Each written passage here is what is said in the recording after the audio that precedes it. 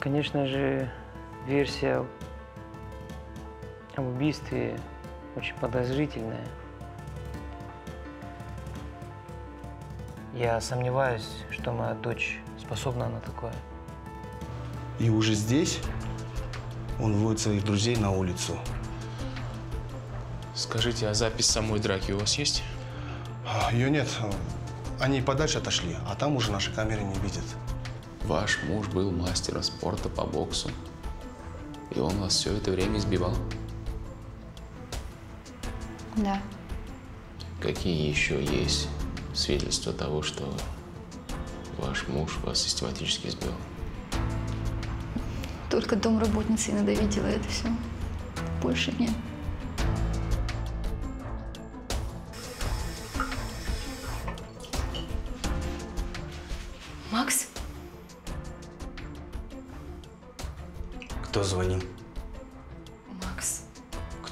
Спрашиваю.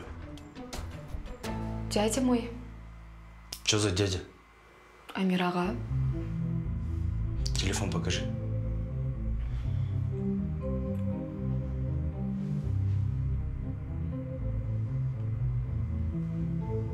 И что ты там записала?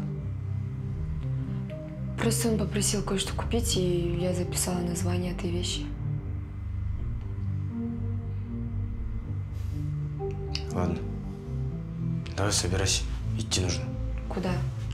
По делам. Собирайся давай.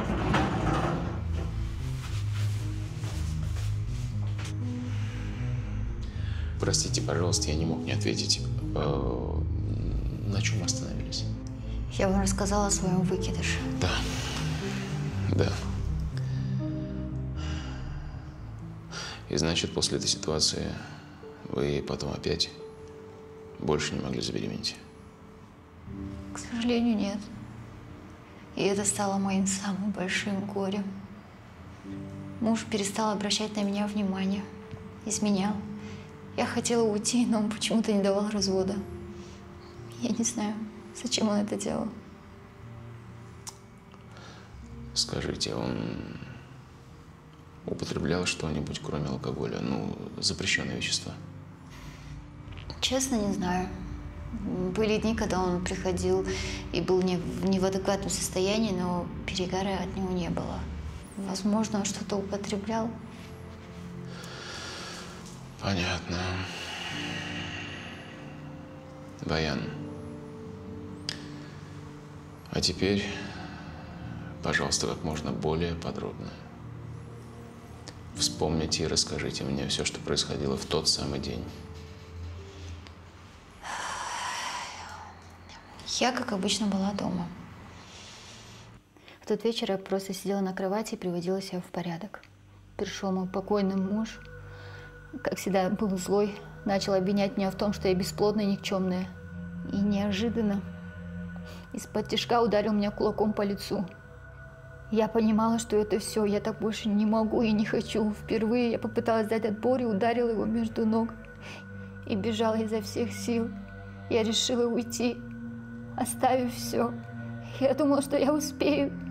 Несмотря на то, что ему было тяжело, он догнал меня. Я думала, что я успею, мне было так страшно. Я просила, я просила отпустить меня. Саягуль была дома, но она мне не помогла. Схватил за волосы и потянул на кухню. Вы можете показать то место на голове, где он схватил вас за волосы?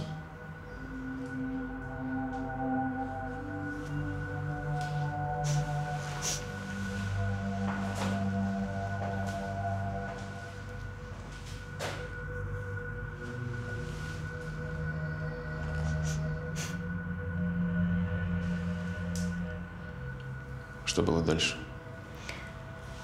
А потом он завел меня в кухню. Он потащил меня на кухню.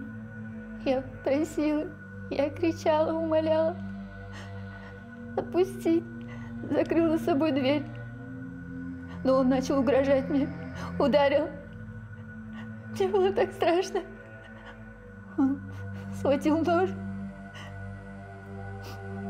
и начал угрожать. Я пыталась отбиться, но он порезал мне руку. Он сказал, что убьет меня и всю мою семью. Он начал душить меня. Я не знала, что делать.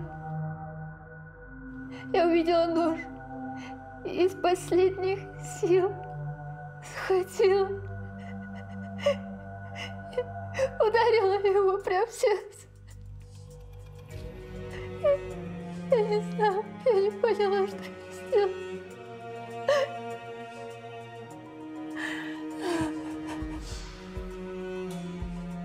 Я не хотела его убивать, я просто хотела его успокоить, я клянусь. Я, я не хотела. Баян, вы поступили правильно. Вы защищались. Если бы не вы, то он бы вас убил. Да лучше бы он меня убил. Я не могу так больше жить, я устала. Послушайте, вы скоро выйдете отсюда. Все это останется позади. Я вам обещаю.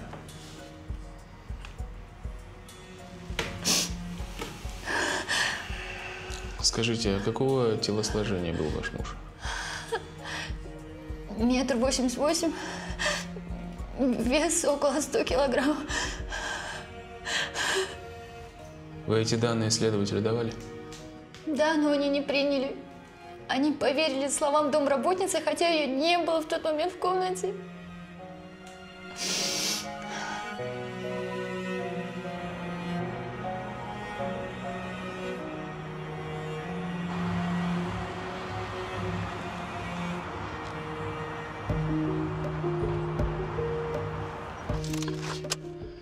Айке, А? вы тут надолго? М, Пока не знаю, а что. Не, просто шаруаларым бар еді. Ладно, езжай, я потом на такси доберусь. Только завтра с утра, чтобы у меня. Чё, түсіндім. Давай. А, сіз қазір сәкенмен кездесуге барасыз ба? Э, Тебе какая разница? енді қасыңызда бір күн жүрген жүрген соң сұрап жатқаным ғой Бахт, родной. Поговорка такая есть. Меньше знаешь, крепче спишь. Вот мне надо, чтобы ты завтра утром ко мне приехал выспавшийся. Поэтому езжай, делай свои дела, быстро домой, поспать. И свеженький с утра завтра у меня. Все, пока. жақсы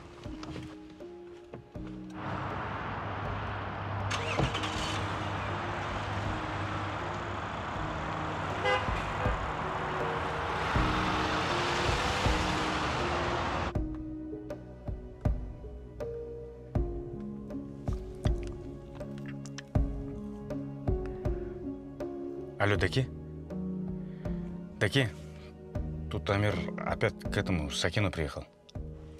А напомни-ка мне, кто такой Сакен? Есіңізде ма мен сізге айтқан Ә, это его друг он тоже адвокат только опытный такой хороший А, и чё он?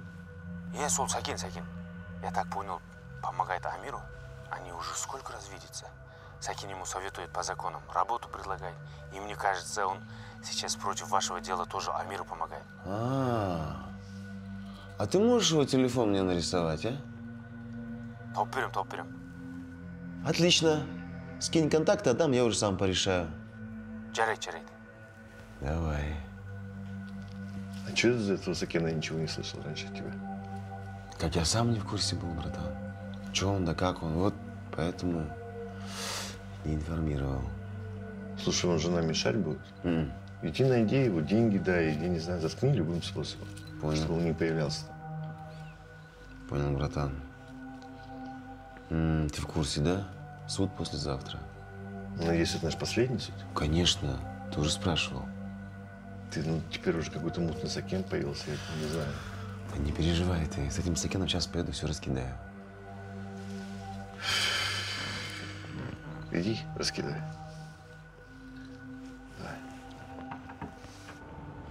Получается, Асхат не бил того парня, да? Нет, конечно, он же лошара. Он только разнимал и кричал, как бы, не трогайте его, то, все это. А как вы отмазались? Почему вас отпустили? Ну ты не забывай, кто мой батя. Это же все решает.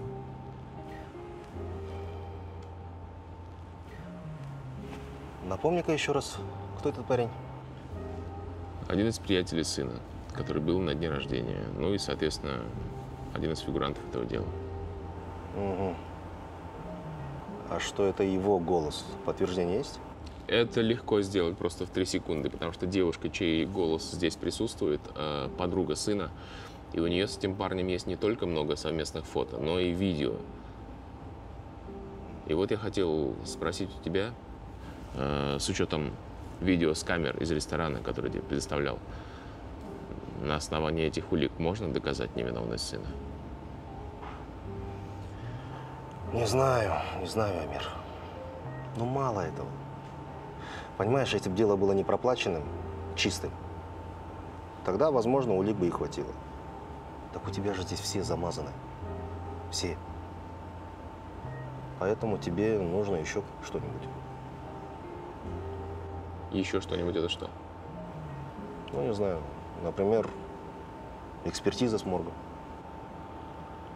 Она же есть. Ну, ты сам-то веришь, что оно подлинное? Нет, конечно. Ну вот. В общем так, Амир. Нужно съездить в морг, всеми правдами, неправдами, не знаю, получить подлинные результаты. Ну и на основании этих улик, может быть, у тебя и будут какие-то шансы в суде. Хорошо. Хорошо. А, Есть еще пара вопросов по делу Баян. Там вообще много интересного.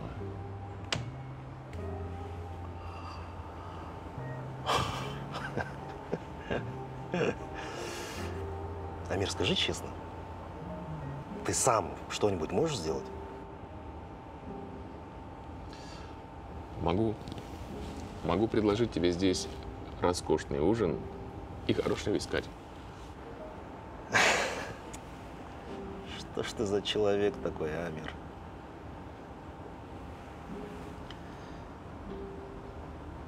Вискарь, говоришь? Хороший вискарь. Ну окей, заказывай, я в туалет сбегаю. Тарам-пам-парам-пам. Ау. Официант, можно вас? Да-да, Шеф, вызывали? войдите, войдите.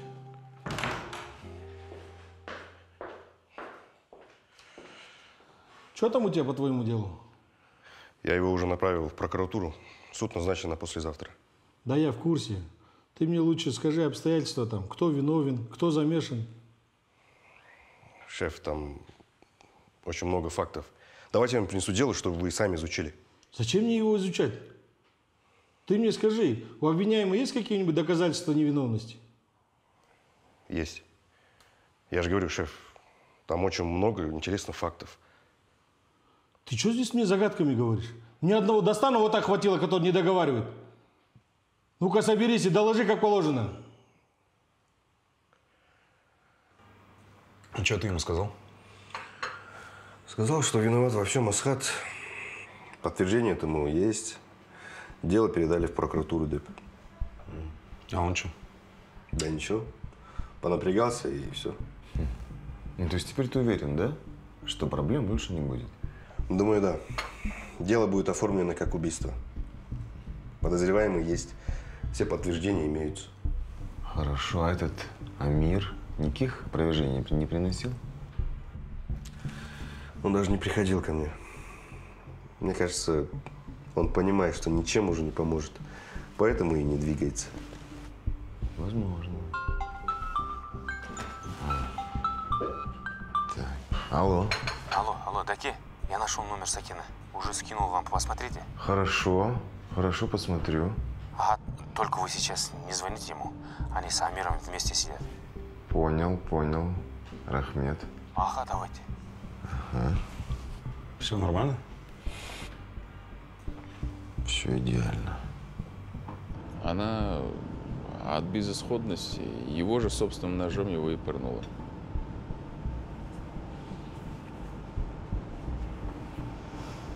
Так. Получается, мы можем ее оправдать по статье 32 УК РК. Доказать, что это была необходимая самооборона. Вот. Я так и думал. По 32-й.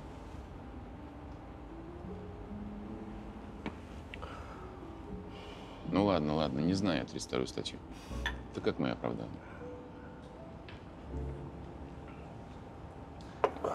Смотри, ну тут не все так просто. В суде доказать, что это была самооборона, практически невозможно. Но попытаться можно. Для этого тебе нужно будет доказать, что перед тем, как она убила своего мужа, сама была избита им. А для этого ты идешь в больницу, куда ее привезли после самого убийства, и берешь справку о ее состоянии. Врачи всегда фиксируют те или иные травмы. После тебе еще нужно будет доказать мотив, почему он ее избивал. Она говорит, он на нее злился постоянно из-за того, что она забеременеть не могла. Ну Вот. Отлично. То есть надо взять справку у ее гинеколога. О ее бесплодие. М, Соображать начинаешь. Молодец. М. Помимо справки о ее бесплодии, тебе еще нужно взять выписку, где пишется о том, что у нее был выкидыш. Вот. Это поможет тебе доказать, что выкидыш стал причиной для еще большего гнева ее покойного мужа. М, понятно. Потом, раз уж твоя подзащитная заявляет, что он пил, употреблял наркотики, так вот это тоже нужно будет доказать. Как? Слушай. Нужно поехать в наркологию и посмотреть, состоял ли он когда-либо на учете. Жалобаев Еркен, говорите? Да. Э, Вы знаете, он у нас состоял на учете, но это было в 2021 году. Но кто его знает, вдруг он заново начал употреблять? Мгм. Понял, спасибо. А как доказать, что он употреблял все эти годы? Экспертиза. Экспертиза показала, что он был совершенно трезвый. А, ясно.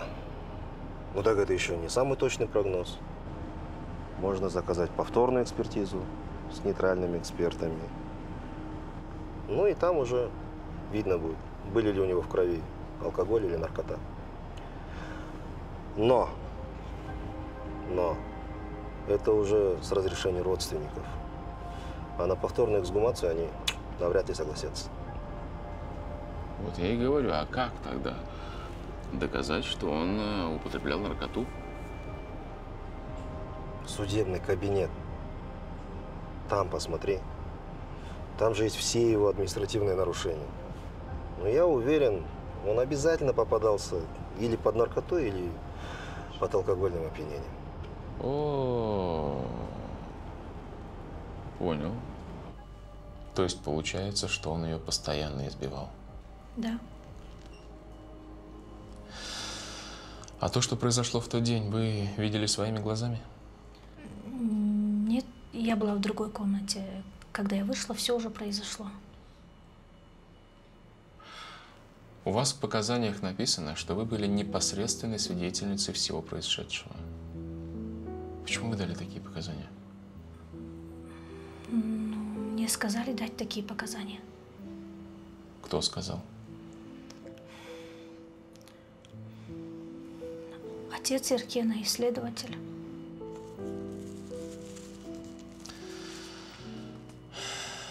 Саягуль, я знаю, что вы работали в этой семье несколько лет. Я знаю, что Баян всегда была добра по отношению к вам. Я уверен, что если бы вы попали в тяжелую ситуацию, она бы по отношению к вам поступила правильно. Сейчас от вас зависит ее судьба.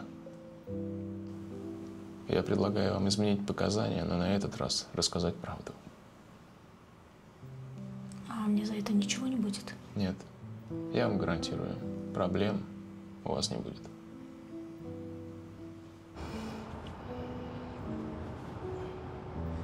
Все? В общем, перепишет свои показания. И ты с вероятностью в 90% выиграешь это дело. А там все остается по мелочи. Нужно будет указать факт того, что ее покойный муж был мастером спорта, указать его габариты, и это поможет тебе доказать, что она была в безвыходном положении. Одна вещь меня все-таки напрягает. Дело же ведет Достан. Ничего. И а он может... Он может не включить в дело найденные на улики. Так это же прекрасно. Это же тебе на руку. Смотри, ты выступаешь в суде, так? Предоставляешь эти улики. Ну и говоришь, что следователь эти улики к делу не подшивал. Все, все сыграет против этого твоего достана. Это же отлично. Да. А вот теперь самое главное. Ну, ты же помнишь, что нужно делать? Не облажаться в суде. Совершенно верно.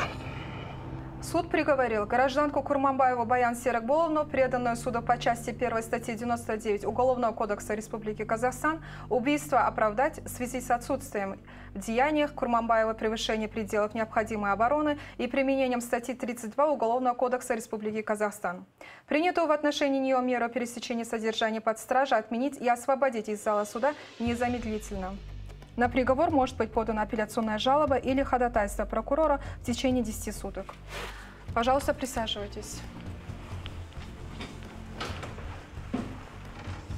Уважаемые стороны, поясняю, подсудимая Курманбаева действовала соответственно характеру совершавшегося противоправного посягательства и степени его опасности. Поэтому ее действия не образуют признаки пределов необходимой обороны и не попадают под признаки уголовного правонарушения согласно статье 99 Уголовного кодекса Республики Казахстан. Тем самым уголовная ответственность с нее снимается. Дело закрыто.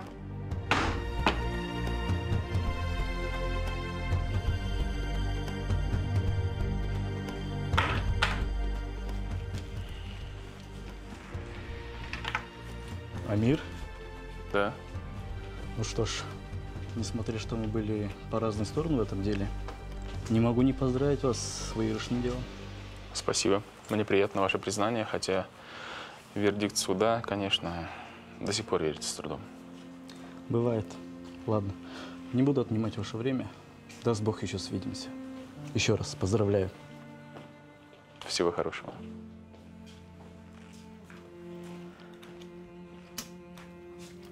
Амир, спасибо большое. Спасибо большое. Не смог сдержаться, извиняюсь. А, Я хотел воп- вопрос задать. А, Судья говорила про жалобу. А, Это никак не отразится на нашем деле? Нет, нет, нет. Апелляция – это стандартная процедура, и потом мы предоставили так много доказательств невиновности вашей дочери, что никакая апелляция той стороне уже не поможет. Все, понял. И еще, э, деньги на тот же счет отправляют? Да. Хорошо. Мы как отсюда освободимся, я сразу все внесу. И, Амир, там еще будет небольшой бонус от, от меня. Вы примите его, пожалуйста, не отказывайтесь. Спасибо, мне приятно. Спасибо еще раз. Я, я пошел к семье. Поздравляю вас. Благодарю. Благодарю. Увидимся. Прощайте.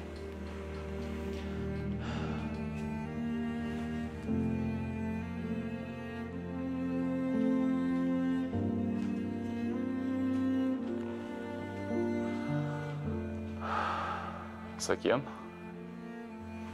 ну, можешь поздравить. Мы выиграли это дело. А, да? Ну что ж, тогда нужно поздравить меня, а не тебя. Да ладно, ладно, шучу я. Ну что, молодец, поздравляю. Не, не могу. Давай чуть позже встретимся. У меня встреча просто. Все хорошо, давай. Давай, давай. Ассаламу алейкум. Алейкум ассалам. Дидар? Очень приятно. Присаживайтесь. Ахмед. А, Сакем, я вам благодарен за то, что вы нашли время для встречи. Мне просто интересно, какое же предложение у вас ко мне. Предложение очень интересное. Я бы даже сказал, весьма. А, даже так?